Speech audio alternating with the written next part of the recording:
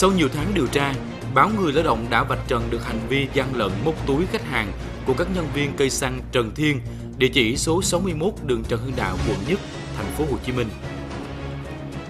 Trò ảo thuật mà các nhân viên dùng để móc túi khách hàng là nối số tiền nhằm ăn bớt lượng xăng của khách. Chiều ngày 11 tháng 3, vào giờ cao điểm, khi có hàng chục xe máy vào đổ xăng. Tại đây, có hai thanh niên cầm vòi bơm để đổ xăng. Một người phụ nữ thu tiền. Một khách nam mặc áo trắng sọc đỏ yêu cầu đổ 50.000 đồng. Lúc này, đồng hồ hiển thị giá tiền 30.000 đồng. Nhân viên đứng trụ bơm ở giữa, nhưng trên tay cầm vòi bơm phía phải. Nhân viên không trả về số 0 mà tiếp tục đổ nối lên giá 40.000 đồng. Sau đó, khách đưa 50.000 đồng. Như vậy, đã bị nhân viên An Giang gần 40.000 đồng.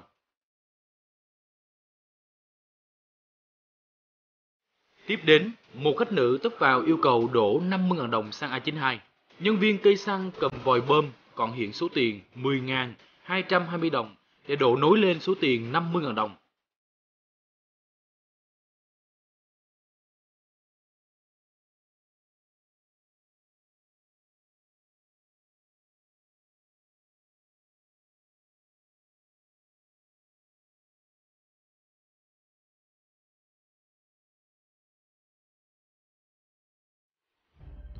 Sau đó, khách nữ phát hiện nhân viên gian lận 10.000 đồng đã phản ánh. Nhân viên đổ xăng phách chân ngồi trên ghế, không thèm phản hồi lại. Ít phút sau, một nam thanh niên khác vào đổ 40.000 đồng. Nhân viên nối số tiền từ 65.000 đồng lên 95.554 đồng.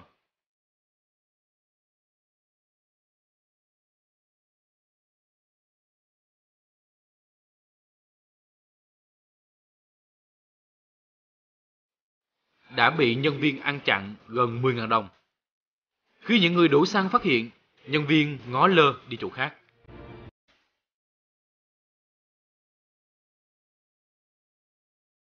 Lúc sau, một công nhân chạy vào yêu cầu đổ 20.000 đồng. Nhân viên kéo vòi xăng có đồng hồ hiển thị 40.000 đồng. Đổ chồng lên thành 50.000 đồng.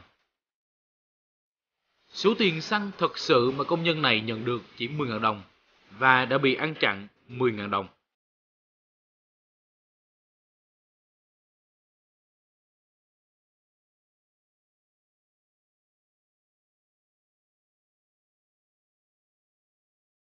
Tiếp đến, một khách chạy vào yêu cầu đổi xăng. Nhân viên nối xăng từ 45.000 đồng đến 85.000 đồng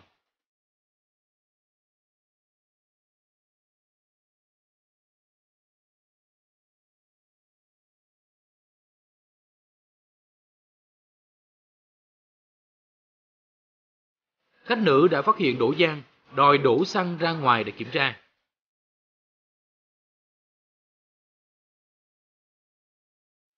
Nhân viên khử nữ châm thêm 10.000 đồng.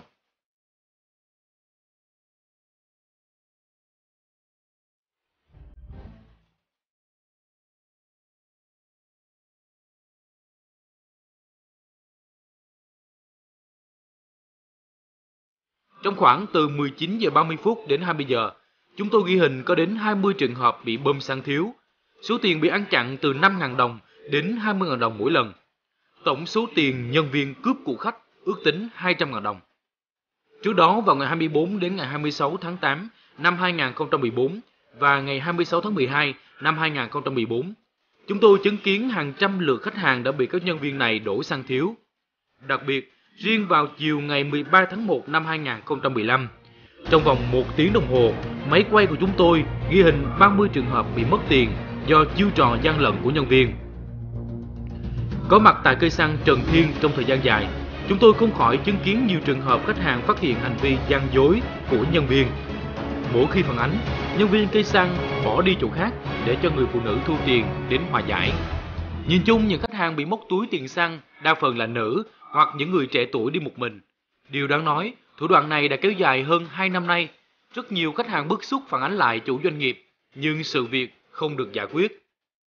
Được biết, cây xăng Trần Thiên thuộc doanh nghiệp tư nhân thương mại dịch vụ Trần Thiên, giấy phép hoạt động số 751 GB TTGN do Ủy ban nhân thành phố Hồ Chí Minh cấp.